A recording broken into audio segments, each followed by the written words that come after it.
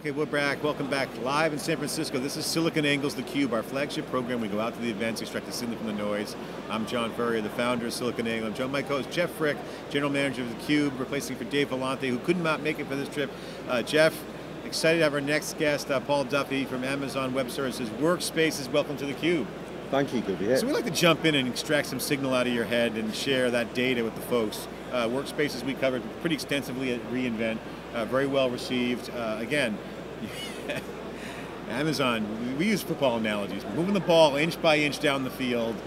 You know, it just seems to be just non-stop stuff coming out of Amazon. So, so let's get the update first. Since reInvent, what's the update on Workspace? Share with the folks what, what new traction you have, any new features, what you're announcing here, real quick update. Sure, so we're really happy to have, um, with the momentum we've had since reInvent. So we announced Workspaces as a, a limited preview at reInvent. Andy mentioned this morning in his speech we had over 10,000 people who signed up for the limited preview.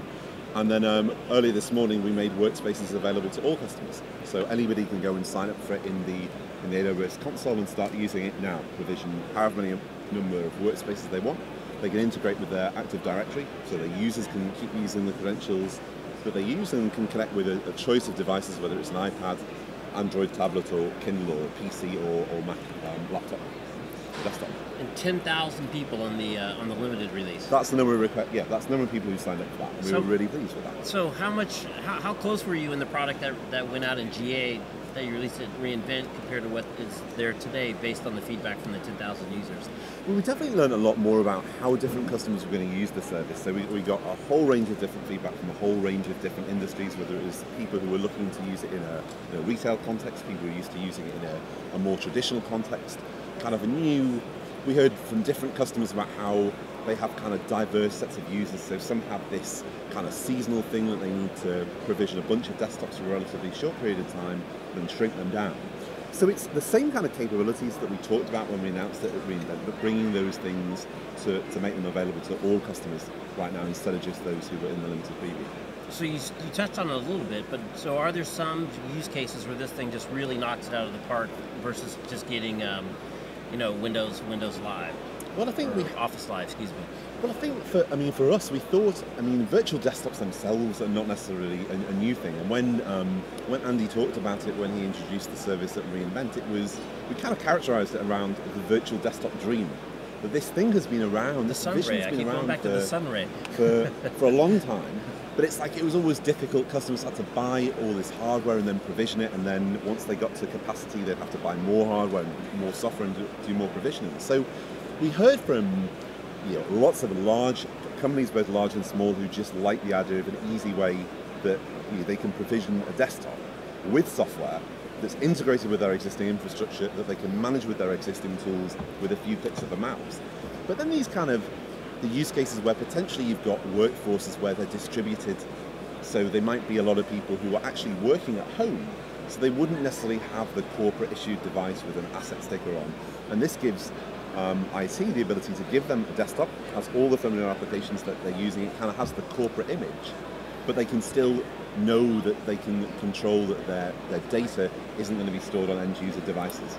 So Paul, I just shared a link from uh, Jeff Barr's uh, blog post about the availability of workspaces um, with some commentary on our crowd chat here.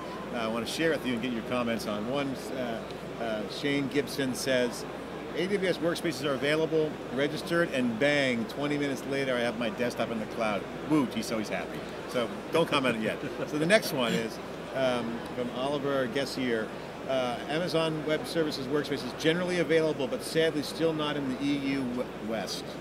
Yes. So, so, comment on obviously they're happy customers. People, boom, you're bang, you're in the cloud. Boom, bang, whatever they use. 20 minutes up and running with the cloud. That's nice. But availability. Talk about what's happening. So today we, we made well earlier this morning we made workspaces available to all customers. Initially, it's in two regions. One of those is um, US West Two, which is our region in um, Oregon. The other region is US East One, which is our region in Northern Virginia. And as we said in the um, announcement communications we sent out, we will be expanding to other regions very soon, as soon as we can do that. So it's customers. rolling rolling out as available. You're going spinning as, turning them on. Absolutely. Okay, yeah. so it's not like they're being blocked out. Just that's the migration plan. Yeah, that's the, turn on plan. Initial plan is in those two regions, Okay. and like, like we said, soon for other regions. Okay, so it's not, not not that's not news. It's just basically that's just the way it is. Right. Absolutely. It wants zero to everything right now. The, the expectations that you've set are tremendous. Okay. And we've, and we've been, that was one of the things in the limited preview. I mean, we've been very pleased with customers from all all countries that you could think of who were buyers. So other commentary we've had earlier on was uh, a tweet that I saw and retweeted was uh, Amazon's new model, price drops as a service. right, just continue price drops. So, is there any price drops in works, workspaces? Well, we've Come on. just announced It's just we've, a- yeah. we always just like to 10 pass Oh a.m. no, you got to announce and then drop the price immediately. That's got to have that mojo. Okay. We, well, we, You know. we always like to pass on savings we can make to customers, but yesterday, so we've just Okay, announced so we're our- going to hold you on it. We're expecting price drops. We're going to get that out of them. There'll love be a price on our drop. I guarantee Love there'll be a price drop and more in functionality. Number okay. 43. Okay. So get that out of the way. Okay, but, that, but let's talk innovation. Okay, that the Amazon way is about innovation. So you're getting it out. Okay, rolling it out. Okay, agile, all that blah blah blah stuff, right? What about the benefits? When will customers start seeing benefits when they roll out Workspace? What are the, the things that you've seen from your early data coming in on the preview release? As people start using workstations, what's the adoption curve look like? They're like, bang, it's up, and then as they fumble along. Do they make a discovery? Is there more tooling? What pattern have you seen emerge from your customer base on the uptake? So it's still relatively early, um, given that we just made workspaces broadly available today. But one of the things that we've heard that we're very happy about is if you compare the way customers used to have to do this, if you wanted to provision 10 virtual desktops, you had to deploy the physical infrastructure, uh, deploy the software that's going to manage those desktops before you could even provision one.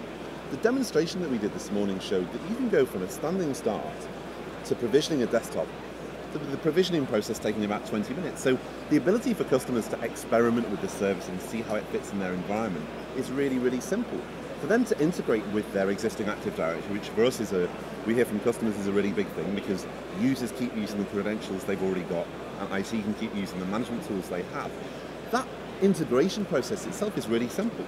If you've got an if for customers who use an, an Amazon VPC, they can choose to have a, a, a hardware-based VPN connection back to their on-premises network. And then the actual integration process with our Active Directory is really simple. The workspaces that we launched this morning in 20 minutes, they joined that existing Active Directory. So it's very easy for a customer. I was in a meeting a, a, a few weeks ago with a customer who was interested. He had an iPad with him, and I provisioned him a sample workspace. And by the end of the meeting, he connected to it. And that's just something that people haven't been used to in the on-premises environment, where they had to build all of this stuff before they could even get started with the first workspace. So talk about the numbers of during your limited release. You had what was I think reported ten thousand. Yeah, that's what Andy said this morning. We had 10 10,000 people who signed up for the limited preview. And how long was that period for? So we announced that at, uh, at reInvent was when we first. Okay, so that's when you opened it up. Yeah. So since reInvent, ten thousand now full availability in the two regions. Okay, great. Just want to get the notes on that. Good, Jim. Yeah, so Paul, I want to ask you a question. So there's, from the outside looking in, there's like four big companies in Seattle. The Boeing has kind of moved out, right? There's Microsoft and Amazon and Starbucks, of course. I'm just curious. You were at Microsoft for a long time, and Amazon is tremendous at just nonstop pace of innovation. If you can kind of speak to, you know, how does that engine work? It must be an exciting place to work. What makes Amazon so different as an innovation company to just continue to roll? I couldn't keep track of all the things he talked about today in the keynote in terms of breadth and depth of, of innovation and just pace of constant uh, releases. I mean, one of our one of our leadership principles is that we are customer obsessed, and that is one of the greatest things about for me about being in, in the company. You, you can listen to anybody from Jeff Bezos who talks about innovating on behalf of the customer, and that's what we like to do. And whether it's working on a, a service like Workspaces, where we've made the service available to all of our customers today, and already we're thinking about how we can listen to more customer feedback, add capabilities, and make it better. And it's things that we see um, through all of our services. I mean, last year uh, we released 280 uh, new services and, and a combination of major features and services. And this is all driven by um, doing what customers ask us for. And there's nothing more rewarding to work on those kinds of services where we're, we're listening to customers and we're able to build stuff that can make a make a difference to what's happening in their environment. Yeah, it's interesting. That, and that's why I asked. I was curious how much the, the workspace has changed since that release, because I know you guys are so fanatically focused to steal from Rackspace on the customer and customer feedback and integrating that back into the product delivery cycle. Yeah, well, I mean, we've heard, we, like I say, we've heard we've heard a lot of feedback from customers about what they like, like about workspaces. We've heard even more things they'd like workspaces to do. With different kinds of workspaces with different capabilities. We started out with um, we have four bundle offerings. those are the things that we're only going to listen to customers about and then iterate on as we go forward. So it's great, and and we love getting that kind of feedback that we can react to. So why is it so easy for Amazon to do all this great stuff and hard for everyone else? I mean, VDI has been kicked around the industry for a while. We see VMware trying to do some stuff there. It's been, you know, virtualization at the, at the edge has been a new, a new phenomenon, but it's just it's always seemed to be that the nut that no one can crack. It's just it just every year is the year of VDI. It seems to me. I mean, oh, so what's what's the deal there? Why is it? Is it inertia? Is it the legacy environment? Is it the variables? Is it the weather conditions? I mean, what's going on with that? Well, I think for, I mean for us, it's I would say it's the same as Andy characterised it when he was talking this morning that we built workspaces because this is what customers asked us to do, and we, we built it in a way that gives those customers what they want. They can provision those workspaces, which are virtual machines dedicated to those end users, and that's I mean it's the, it's the way we think about building things here. We start with the customer and work backwards with the services that, that we built, and in, in that sense, it's a, it's a simple strategy in listening to customers. What's the number one thing customers tell you right now about workspaces that you guys are beavering away on right now? The, what the one thing they, they would want us to improve is really just adding adding more capabilities. I mean, they love the fact that they can they love the fact that they can provision desktops very easily with a few clicks. They love the, the experience that users get when they're connecting to workspaces and the fact that they can use different devices. From a, an IT administrator point of view, they, they love the fact that these workspaces integrate with their existing infrastructure, so they can they don't have to create another directory for users that they can administer them in the same way. So lots of different things depending on. I mean, we, we talk about customers with every imaginable use case, and that's the thing we've learned from workspaces during the preview. Lots of different customers with different scenarios that were. You guys are transforming the marketplace. You're innovating. At the same time, you're still commoditizing and disrupting. It's a really kind of a rare combination to see that happen. And we talked about that in our intro uh, segment this morning. Uh, I got to ask you about transformation. Where is the, in your own personal opinion, not take your Amazon hat, employee hat on for a second, knowing what you know as an employee and product manager, put your industry hat on. What is the most transformative thing that you're seeing right now? Is it IT? Is it the business line? Is it the developers? What is the major transformation that's the key lever to all this massive sea change of innovation, this modern era we're living in? Workspaces one, you got Kinesis, you got Redshift, you got Elastic Beanstalk, DevOps, process improvement across the board. People are instrumenting their businesses different. Like it's just the cloud is changing so much. But I, and I think that would be the challenge to answer that question with a, a single word. I mean, if you look at those three, three of the services that we announced at reInvent that are now available to all customers. One was Workspaces, one was Amazon AppStream, one was Amazon Kinesis. And they're all doing really different things for customers, but enabling new scenarios. So Workspaces might be enabling a customer to um, deal with a seasonal demand for workspaces as well as more traditional desktops. AppStream, in the examples Andy gave this morning, we had um, EVE Online, which is a massively multiplayer online game, where AppStream means instead of players abandoning the download of a game, they have a new way of, of interacting with this from uh, TruGolf, the, the golf simulator, that instead of having a smaller market where people have to spend a lot of money to have a golf simulator, So people can potentially do that in their own home. Those golfers can now compete in virtual tournaments, or from the point of view of Disty, where they were, um, you know, they've got an environment where for them training can now become something that you do instead of something that you go to with a classroom with all these expensive PCs. And then Kinesis is doing totally different stuff. We talked to um, one of our customers in the UK called Snowplow Analytics, and they're they're kind of going and, and building these solutions so it's much easier for people to make real-time decisions. Which, you know, as a phrase sounds general, but you know, one example is that you know, these customers know that if you're browsing to do a test drive on a, on a car company website, they can predict that you're probably not going to. They kind of know that they, their data would show you the their data would have shown you that the next day they could have predicted that you were going to leave the website. So in the old world, they'd have to go and try and follow up with you or email or have a dealer call you. And now with, with something like Kinesis, they know that you're going to get off the website, so they'll do something to engage you before you get off the website, so you'll go for a test drive. Or in, a, in, the, in the line of a multiplayer game, they think you're going to quit, so they could do something like give you a, you know, a thousand credits or whatever it is. To- So it's all, and those those three services are doing very very different things, but enabling really interesting new scenarios. And people can use them in different ways. How they mix and match is all driven by their needs, not so much some prefabricated syntax that you guys are projecting. Yeah, Here's the services, stitch them together the way you want. Here are some building blocks, and we would love you. You are limited by the imagination of our customers who can build these Yeah. amazing. I mean, apps. I'm, I'm a big believer of composite applications being built and using the building blocks. It's just the choice of the developer and the environment. So I got to ask you the question now. This is a mind. You are basically living, the, drinking the Kool-Aid around a whole new mind mindset. You're living in a whole new era, thinking differently, new use cases. Uh, beauty's in the eye of the beholder. The developer can do whatever they want. What is the bottleneck on the folks that haven't accepted the change yet? Now, there's process management change, people change management. People hate change, right? So, you know, you're on the you're on the, the good side of change. You're making things happen. So, what's your take? You talk about a lot of customer surprise. Some of them say, "Hey, get out! I really want to. I don't want to talk to you." I know. I heard you guys are kicking ass, but you know, we don't want to talk to you right now. We can't handle it. We can't handle the truth. What, what, what's the key issue? What are these people? What's holding people back? Well, sometimes I think it can be a matter of explaining what, how the cloud can help them achieve things they couldn't have done before. And for, for, you know, for people who've spent a lot of time in, in an on-premises environment, and then they, when you look at of, you look at generations of people. I mean, we've had customers in startups, and their kind of concept. I mean, there was one customer we had, I, I think, who said something like, um, "I don't know the cost of a server any more than I know the cost of a sword because it's not." They haven't grown up in that environment. If you look at someone who's worked in an on-premises environment uh, for 20 years, they've been used to a different way of doing things. So sometimes it's just making sure they understand how these building blocks can go together. One very large customer I had, you their marketing department, they love the fact that they could build these elastic applications. Or they love the fact they can bypass. IT. They love they can bypass IT.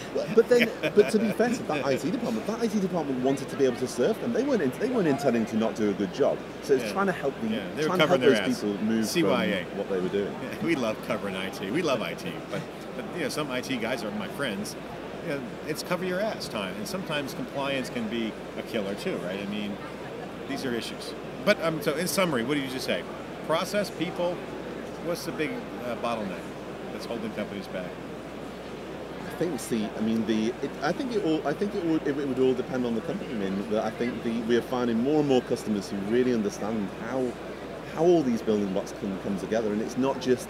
It's not just something for startups. It's not just something for enterprise. It's not just something for certain parts of one thing. And that's why we've always said we have hundreds of thousands of customers with every use case you could think of in you know every possible industry Okay, so you might think of. So here's the scuttlebutt that I hear about Amazon.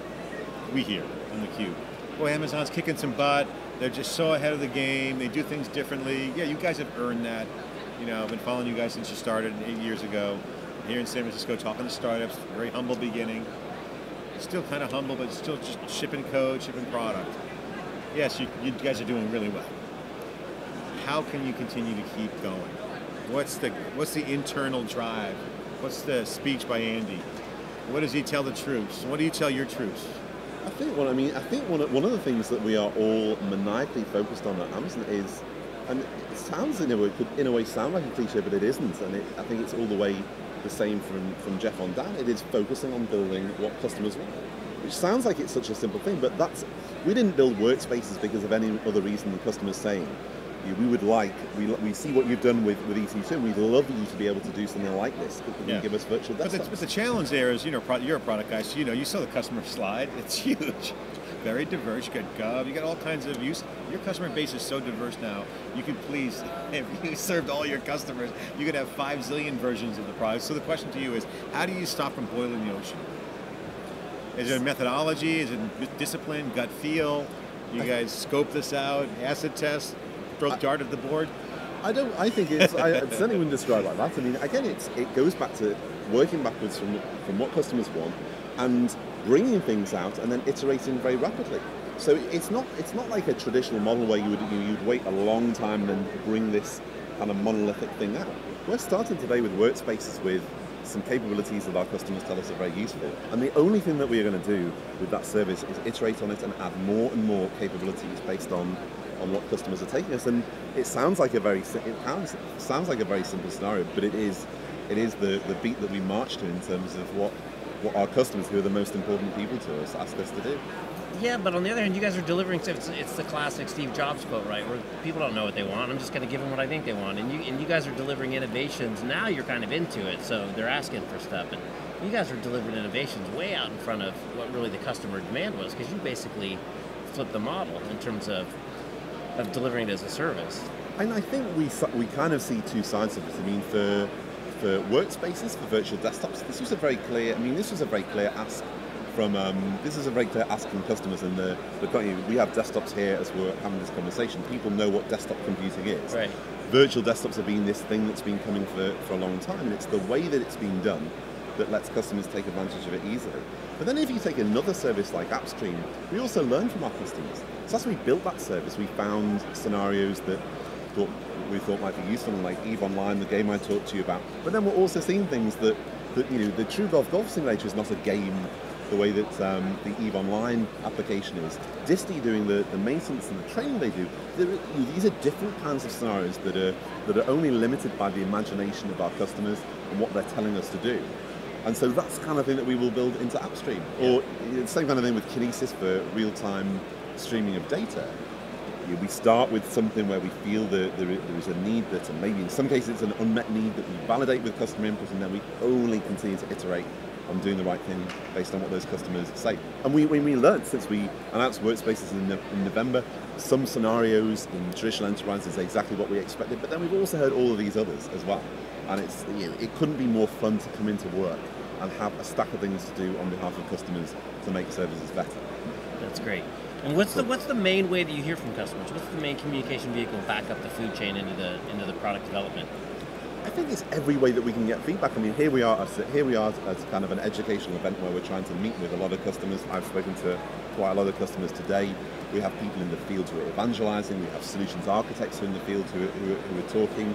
There's work we do in the community to hear from those customers, messages that they might send us via social media, surveys that we do with customers. I mean, every way that we can, every way that we can find to um, listen to customers. And you're listening. And I think that's the key is that yeah. you're listening. Yeah, it's great. Okay, we here live in San Francisco. We're here talking about Workspaces. Final word I'll give you is what's next for Workspaces. Tell us what's around the corner. Give us a little taste of what's coming.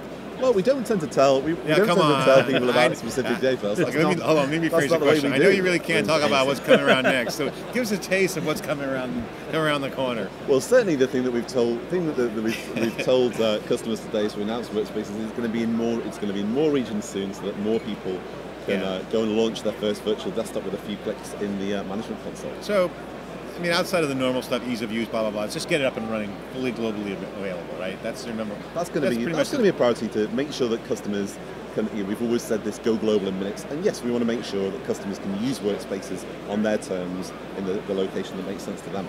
We're here, Paul Duffy with Amazon Web Services Workspaces. Again, one of the hot products that was released at reInvent. Again, uh, Amazon moving the ball down the field. More releases, more stuff, more shipping code. Every time you uh, swing a cat, something ships out of uh, Amazon. You guys are doing a great job. So we're big fans, happy customers. Um, we'll be right back with our next guest after this short break. This is theCUBE, live in San Francisco, covering Amazon Web Services Summit. Be right back.